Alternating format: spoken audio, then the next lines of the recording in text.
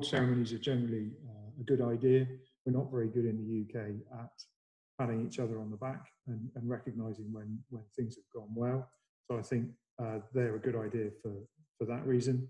I also think for Sherborne, they create a sense of community um, and they, they kind of highlight the, the diversity of businesses that there are in Sherborne, which is, which is quite incredible when you actually look at the, the number of businesses and what, what actually goes on within Sherborne. So, um, so I think they're a good thing for the town, and especially at a time like we're in now, um, anything that we can cling to to be cheerful about and positive, I think is a good thing. Um, in terms of why we chose to support the digital, well, um, that was a bit of a no-brainer for me. Um, as a business, we have always looked to digital solutions, um, and that pace of change has, has only got faster over the last few years.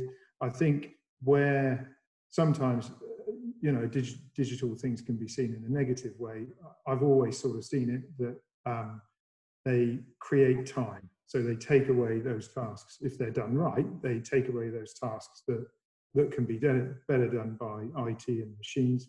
It enables people to be more creative. I think it gives people more time to think uh, and as a result of that, I think businesses perform better.